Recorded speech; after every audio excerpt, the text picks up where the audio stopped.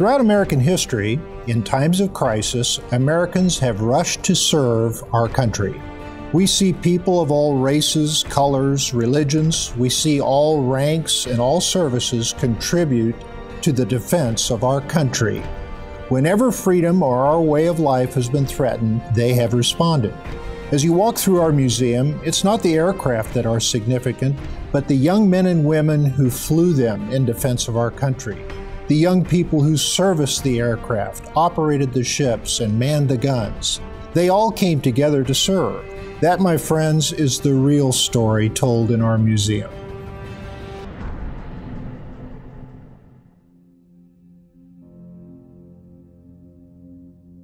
When you think of the National Naval Aviation Museum, you think about airplanes, and rightfully so. We have over 150 aircraft that graphically and dynamically display the history and the heritage of naval aviation. But here in our museum, we also have a display that is not an aircraft, and it's our very own Cubi Bar and Cafe. It is very unique. There's none other like it, but to understand it, I need to give you just a little bit of background. The United States used to have permanent bases in the Philippines. Two of those bases were in a body of water called Subic Bay. There was both a naval station and an air station on Subic Bay. Virtually every ship during the Vietnam era and thereafter that went in and out of the Pacific would go to Subic Bay. The ships would go into the Navy base, they would refit, refuel, and get provisions. Aircraft would fly over to a spit of land adjacent to the naval base called NAS, Naval Air Station Cubi Point.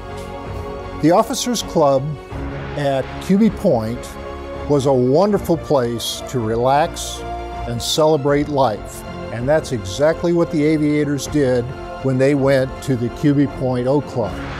The way these plaques came to being is every aviation unit typically would come in and they would want to leave a memory of their time together, of their unit, of their names while they were there in Cubi Point.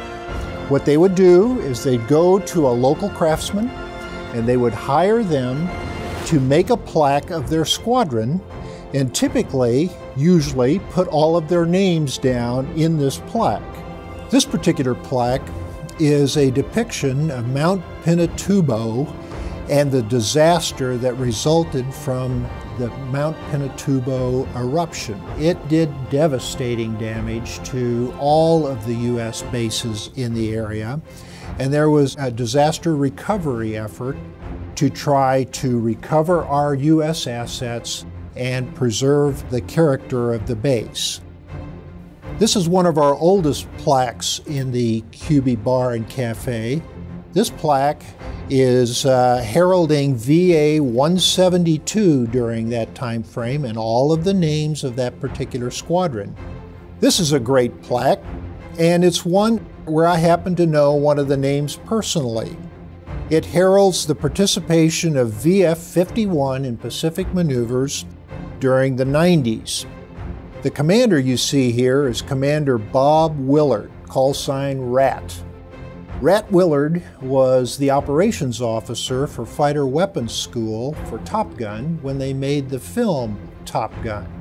Rat Willard went on to become a four star admiral. He was the combatant commander in the Pacific while I was in the Pacific with him. Sometimes the plaques stand for themselves, but the story's not obvious. One of our heroes, national heroes, and heroes here in the museum is Captain Gene Cernan. When Gene Cernan was flying active duty, one of the squadrons he was in was Attack Squadron 113, the Stingers. This plaque represents the squadron that Gene Cernan was in before he joined the astronaut program.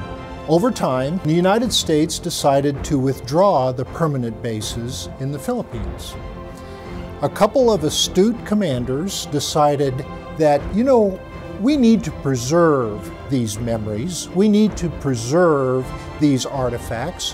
So they loaded up all of these plaques that you will see in our cafe brought it here to the museum and we recreated the upper floor of the Cubi Point O Club right here in our museum for you to enjoy.